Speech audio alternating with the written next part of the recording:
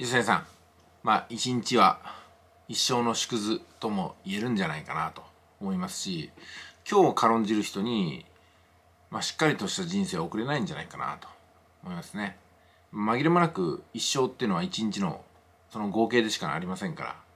小さなことに大義を見出せないようだと大きなことに小さな意義も見出せないのかなと思っちゃいますね、まあ、人生それ知って何か意味あるんですか？確かに意味はないですよ。でもやり取りが始まることによって意味っていうの生まれるんじゃないかなと思いますからまあ堀江さんがああいうふうに言ったのもねここまで意味を持ち続けてるわけじゃないですか、うん、なかなか面白いですね。このやり取り。はい。まあそれでね今回はチャーリーズチャールズ大統領ですか。ウィストン・チャーチルチャーチルですね。うん、イギリスの首相なんですけども、うん、この前なんかイギリスの首相がなんか辞めるとか言い出したみたいですね。まだ在任40日ぐらいだったんですけども、うん、でこのチャーチル首相なんですけどもこういうふうに言ってますよね。悲観主義者悲観論者はあらゆるチャンスの中に問題を見出すと。どんなチャンスがあってもリスクがあるって言い出すんですよ。でも楽観主義者っていうのはあらゆるリスクの中にチャンスを見出すんですよね。同じものを見ていてもどこを見てるんですかってことになります。これはね速稼塾の中でねあのビジネスに対する考え方のその、まあ、ボーダーライン正義感の中に一つ考え方があるんですよ。それはグレーっていう考え方ですね。誰か何かを説得しようとするときにこれはグレーなんだよと。グレーだからこそチャンスがあると。でも真っ黒黒じゃないんだよって言い方をします。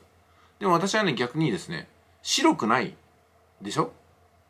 じゃあやめましょうって話なんですよ。黒は絶対ダメ。でもグレーっていうのも白じゃないよねってことなんですよ。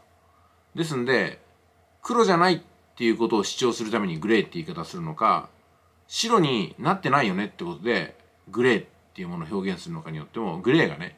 いいものか悪いものかって分かれてくるんですよね、まあ、いわゆる怪しい案件を進めるときにいやこれはグレーなんだけどねっていうふうにして、うん、あのやっぱり黒じゃない。ダメじゃないんだよってことを強調する人もいればいやグレーなんだったらあできないです。真っ白でやりましょうみたいな感じでね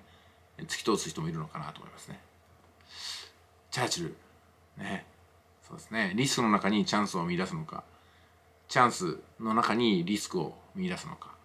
これも楽観論者と悲観論者で大きく分かれるところかなと思います。物事は同じなんですけどね。どこを見るのかによって